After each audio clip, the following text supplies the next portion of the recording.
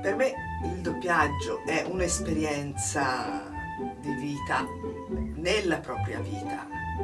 So che non volevi ritrovarti fuori dalla porta una figlia diciassettenne imbranata.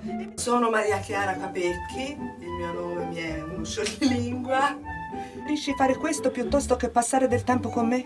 Holyoke. Guarda, io la mia passione per eh, il teatro è nata quando avevo sei anni, come ti ho detto, che la maestra di francese ci aveva preparato la, la recita di Carlo Magno, in cui io facevo Carlo Magno, sei anni, una bambetta così, in francese, alla pergola, e io lì mi sentii completamente a mio agio. Io per me era il posto più normale del mondo e quindi capii che era una cosa che mi piaceva tantissimo. Poi passano gli anni, faccio altre cose, mm, eh, cose normali della vita eh, che prendono tanto tempo, lavorare, mm, sposarsi, fare figli, eccetera. Oh, se sono una merda è solo perché sono una merda. E hai il diritto di avercela con me, ma sappi che qualunque cosa faccio non è colpa tua. E quindi poi eh, quando un pochino di spazio eh, si è creato eh, nella mia vita non, non, mi sarebbe più bastato fare l'attore sul, sul palco. Io volevo fare un lavoro proprio di doppiatrice, che è un lavoro all'interno, perché non hai niente da dimostrare, cioè non c'è l'ego da nutrire, non mi interessa nutrire l'ego. Vostro onore, mi pare che sia abbastanza. Ha convinto la sua inquilina, Linda Morelli, a testimoniare che Trisha Stanley era stata uccisa dal fidanzato David Allen. Lei è fuori strada, le consiglio. Eh, mi interessa eh, poter esprimere ogni parte di me stessa, ogni emozione. Io sono una persona molto estroversa e va benissimo anche molto irruenta. Il doppiaggio ti fa modulare, ti insegna a modulare ogni emozione, dalla piccola alla grande, l'intensità, la qualità dell'emozione, eh, disciplinandole, per poter far arrivare il tuo messaggio, sia quando sei in ascolto, sia quando parli. Lei è fuori strada, le consiglio di fermarsi qui. Perché la sua intimazione di sfratto contro la Morelli fu ritirata malgrado non avesse pagato Avvocato Keating! Quando Simone ha dato la sua disponibilità al mondo per, come insegnante di doppiaggio mi sono tuffata a pesce per approfondire la cosa. Dice che sei stupida e brutta? Sì? Se ne va, vero? Ah. Capito? Tienila un po' più sospesa in realtà. La competenza di Simone e di Marco sono Mentre se ci fate caso io le dico tutte alte, ci siamo. Dopo un po' voi perdete l'attenzione suo modo di porgere la sua competenza eh, è veramente particolare. Che ti, ti, porta lei fuori, invece poi chiudete le porte. Chiudete le porte. Brava. Anche più voce. Eh. I pochi miglioramenti che ho fatto, veramente, è merito loro. Conta i milioni fatti una volta tolta di mezzo la signora Stanley? Avvocato Kitty, basta! In questa scuola di doppiaggio doppiamo tante volte in due allegio, perché bisogna sintonizzarsi.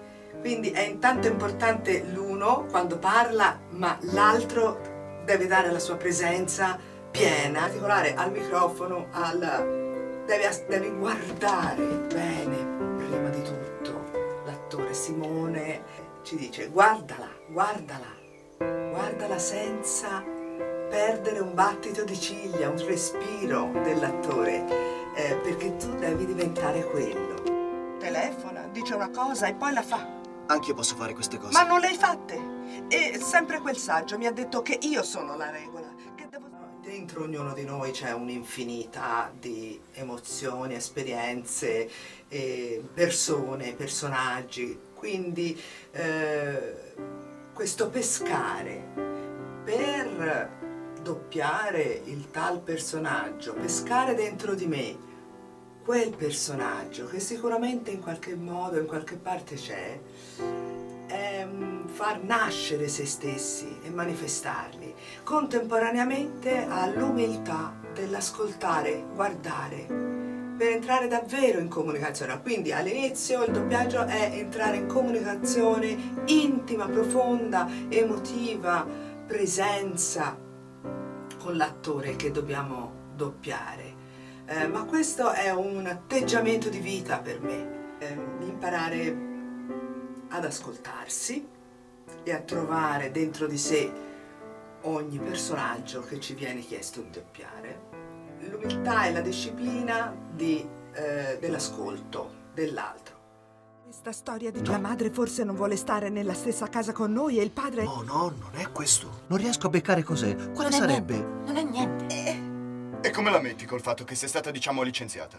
Gli unici che ne sono a corrente siamo noi tre e presto resteremo in due. E io sono uno di La scuola mi piace perché è un'esperienza di vita, è un lavoro su se stessi, è un ascolto di se stessi e in questo caso del personaggio che uno deve, si deve, ci dobbiamo medesimare nel personaggio che dobbiamo doppiare e quindi dobbiamo trovare dentro di noi quella parte e- ed esprimerla perché già la parola è limitata. Se non la sappiamo usare invece se la sappiamo usare e sia il tono, il timbro, il tempo sia il tempo dell'ascolto sia il tempo del parlare penso che possiamo entrare in comunicazione con l'altro. L'arte ah, ti libera da tutti i pensieri della vita normale e, e ti nutre e ti nutre. Che io sono la regola che devo smetterla di pensare che un uomo può cambiare che devo smetterla di pensare. Poi va bene il doppiaggio. Bisogna cercare di esprimerla e di interpretare nella migliore delle maniere l'attrice che, che sta recitando e questo a me dà una, un piacere immenso, non so descrivere perché è proprio gioia pura e sparisce tutto il resto della- degli argomenti della mia vita. Io farei il doppiaggio 10 ore al giorno.